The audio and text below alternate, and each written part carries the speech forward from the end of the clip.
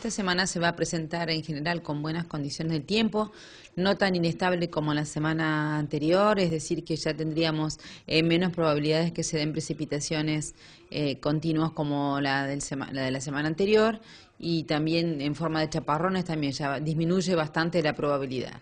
Eh, vamos a tener viento como principal protagonista esta semana acompañándonos principalmente durante la tarde.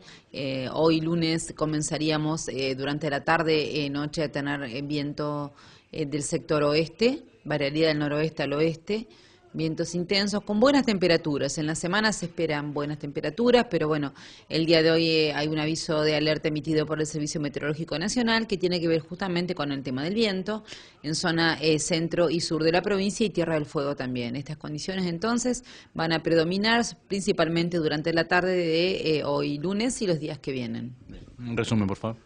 Como no, entonces eh, vamos a tener eh, condiciones de hoy lunes, todavía alguna probabilidad de precipitaciones, sería el único día de la semana, hacia la tarde ventoso del sector oeste, con buenas temperaturas, el resto de la semana también, las, eh, las temperaturas perdón, estarían entre 15 y 19 grados, siendo el día más ventoso de la semana el miércoles.